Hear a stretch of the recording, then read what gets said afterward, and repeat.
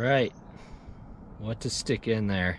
So when you get the Axis you can get it with bags from the factory, but I opted not to because I have some bags of my own that I thought might work, and I was like, if that doesn't work, I think I want to go with like a custom Wake Makers bag.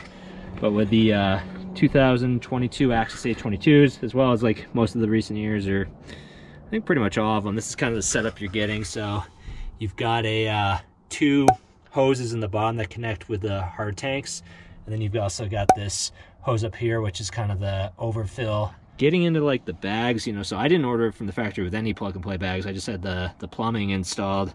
And when I did that, I was like, you know what? I was like, I want to go big. I did some calculations and I ended up with this Wakemakers bag. So these are the 865 custom fit uh, options that Wakemaker makes. And this is how they come from the factory. So they've got the valves or the clip pieces for the quick clips like already in there. They're actually glued in there, which is cool.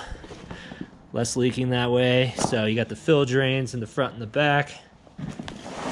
And then you've got the uh, the overflow vent on the top.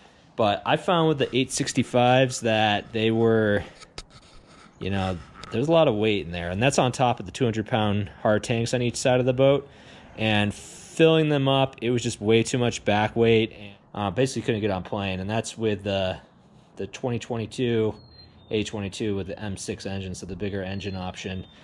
Getting rid of those. Um, but I got thinking, I was like, what should I go with next? So Black Friday rolled around and uh, did another Wake Makers order. So got that in here.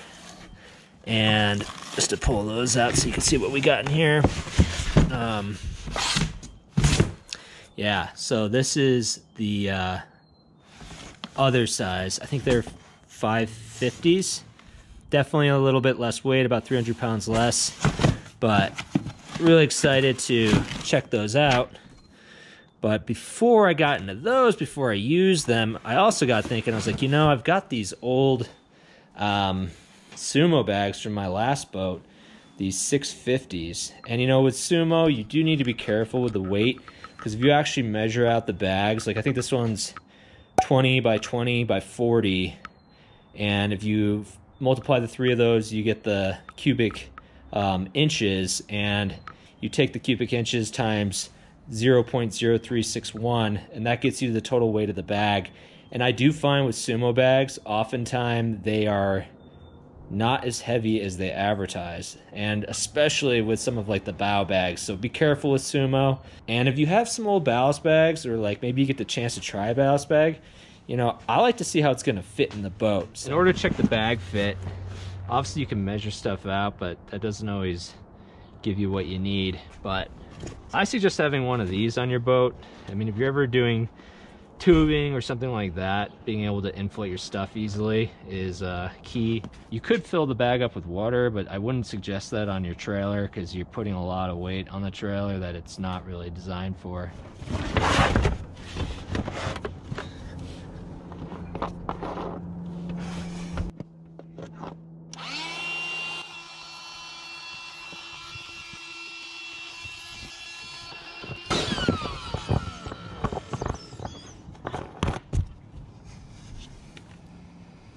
So we tested out the 650s in there and like, I thought overall they actually fit, but it was a little tight. I didn't like how it was right up against the fuse box on the front and then on the back, you could tell it was gonna get pinched a little on the part of the boat, um, on the gel coat in the back. Like it's kind of a sharp edge and um, I don't know. They could work, but probably I'd be maxing out what's in there I just feel like it's gonna wear the boat out a little bit. Plus there's no storage for like extra vests if they're full back there. So I think I'm probably gonna go with these 550s. These custom wake maker bags are really well thought out. Like they actually go in and like custom measure specific boats and then figure out the bags for them. Whereas like something like a Sumo or a Fat Sac, all of those are, you know, just generic kind of rectangle or oval shapes um, at least for those rear bags. Um, but yeah, let's look at the bag. So we've got the vent overflow right there. Again, three quarter hose. We've got the uh, the fill drain in the back, and we'll have the fill drain in the front. As you can see compared to the 865, this one does kink up a little bit, but it's not nearly as far. So I think it's probably similar length to the 865. That's the part that goes under the bench, but just it's not gonna go up as tall. With testing this one, you could put tape over the valves. You could use duct tape or something, but duct tape's messy, it leaves residue.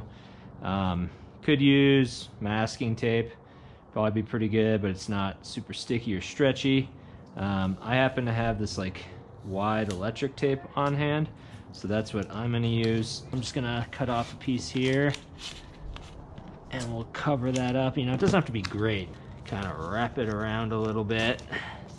I'm just gonna grab like a rubber band, just have like a one that would come with some like vegetables at the grocery store and just wrap that around it a few times. That should give us what we need. Like, you know, could probably just use a baggie there now that I've thought about it, but um, I have the tape on hand, so just use that. And again, the reason we're not taking this out is with these bags at least, these pieces are glued in.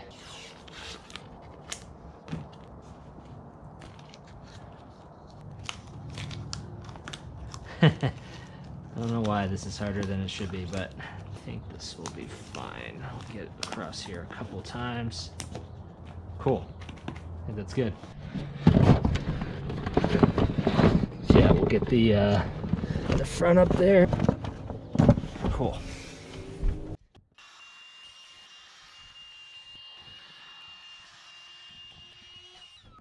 Fuses are not getting hit. You know, we are pinching a little down there. Not pinching in the back. So yeah, I think that's a better fit. You could probably fit like a vest or two in here too.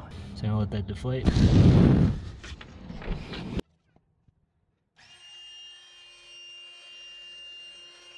Take these off.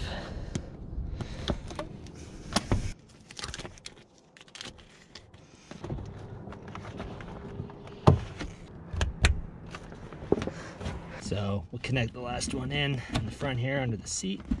A lot easier than trying to do it from the back. Make sure that's fully engaged there. And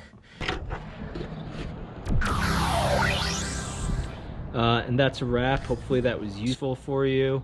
I would say that, um, you know, if you've got some bags on hand that you want to check the fit, you know, you can measure stuff and do your best there, but sometimes just getting in there is going to let you know exactly how it's going to go.